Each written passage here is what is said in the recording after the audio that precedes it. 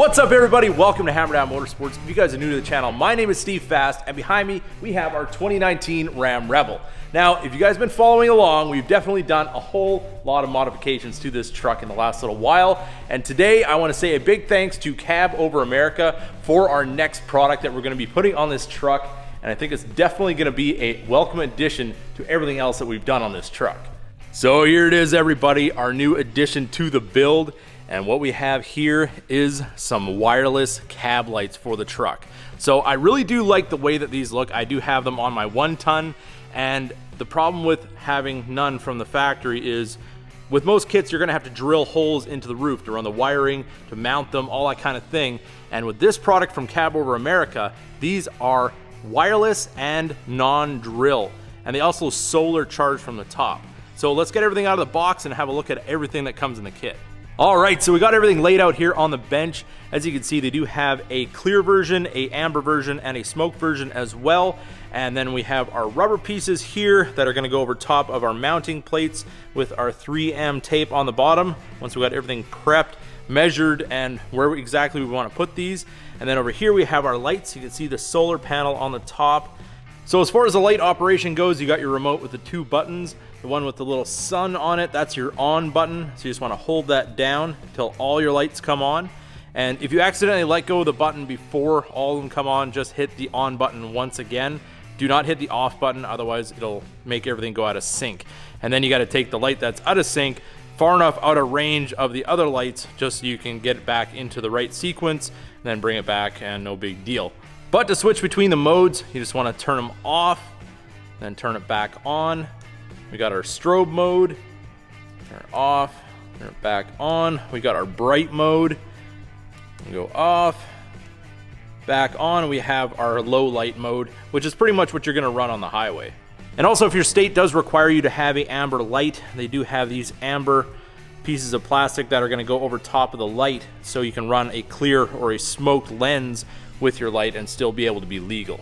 So definitely drop in the comments, what color should we run on the Rebel? Should we go with the clear, the amber, the smoked? Should we run it with a amber fill in it? I'm kind of thinking I'm gonna go with the smoke. That's really gonna go with our theme, how we got some of the other stuff blacked out on the truck. And I think just to stay legal, I'm probably gonna go with the amber as well. But definitely drop in the comments what your thoughts would be if this was your truck, how would you set it up? So the next thing we're gonna do is prepare our surface. You can use a isopropyl alcohol 50-50 mixed with water and just take a rag, go up on top. Make sure you clean off any kind of grease or oils or anything that might be up there that's gonna keep your 3M tape from sticking.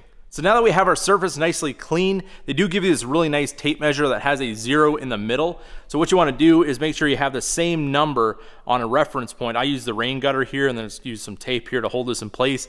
Because I am doing this by myself, it is a little bit more difficult. If you have a friend around to help you measure this out, it will be a whole lot easier.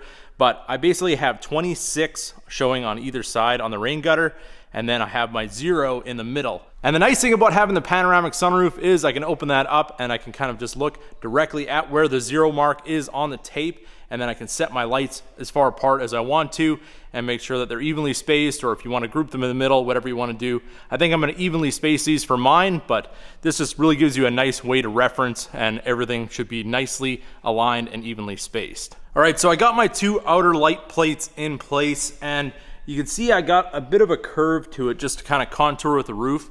Being that these are aluminum, you can just bend them and make them fit to your roof. You wanna have as much surface area touching the roof as possible with the 3M tape. So you just kind of take it with your hand and just give it a little bit of a bend, just so when you set it on whatever curvature of your roof you're putting it on, that it's not gonna move around or anything like that. Just not gonna give the opportunity for dirt or anything to get underneath there and give you a really nice bond. So I took a dry erase marker and I marked my zero mark right there. So I'm gonna go up through the sunroof, set my middle plate in place, give it its curvature, get that one there and then kind of figure out where the other two lights are gonna go. Then I'm gonna mark where the plates are gonna end up permanently and just kind of measure the distance from the windshield on each one to make sure that they're all exactly the same. Then I can remove my measuring tape and then we can go and actually put these on once and for all and get our lights installed. All right, so I have all of my adjustments made. Everything is nicely to the curvature of the roof. I measured from the windshield to each one, so they are exactly where I want them and they're lined up on our tape. So then what I did is I took a window marker, which is just gonna rub off the paint once we're done, and I just kind of traced out around each plate so we know exactly where they need to go when we remove our measuring tape. Now this is a little extra step that I do just to kind of make sure that all the two-sided tape adheres as well as possible. This is Sika Activator 205. I just take a Q-tip and I just prime the surface on the truck and I prime the actual tape itself on the back of the plate. And then when you put those two together after you let them dry for about 10 minutes, you get a really, really good bond.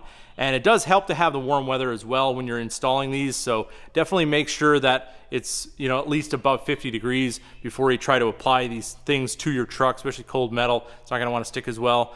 So definitely a clean surface, a prime surface, and a warm surface is gonna give you the best adhesion possible. And now that our tape and our surface is primed, what we're gonna do, we're gonna put it in place and hold down firmly for about five to 10 seconds. And there it is. We have all the plates installed on the truck. Everything held really nicely. It is a pretty warm day today. It's probably 80 degrees out. So everything's stuck really well, especially with the primer. So now we can install our rubber grommets, put in our lights, and then we can put the lenses over top. And I'm gonna show you guys what it looks like with all three different options of lens color. So now we have all of our lights in their place. They just kind of sit into this rubber section right here. Just kind of fit them in.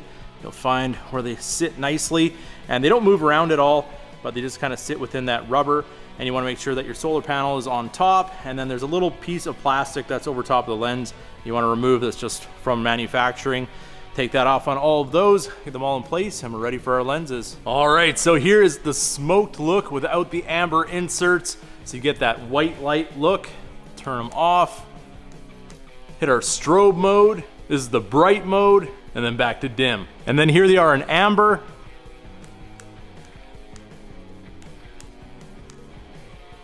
And clear.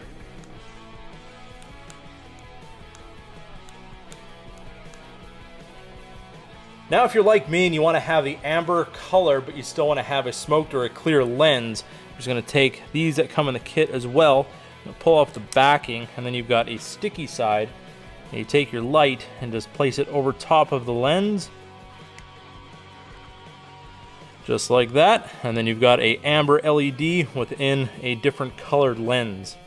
And then we have my preference, the smoked look with the amber light. And this is with one of those little amber squares put over top of the LED light. They do give you enough to do two on each, so you can make it a little bit more orange rather than kind of the yellow that you see right now. This is on the low mode right now. But I think what I'm gonna do is actually double them up to make them a little bit more orange, just to kind of match my signal light on my mirror. And here you can see the color change difference between having the double ambers over on these three and just a single over here. It's definitely a very big difference on how much orange light you want to get out of it. And there we go. We got all the ambers corrected. Everything is looking exactly the way I want it to.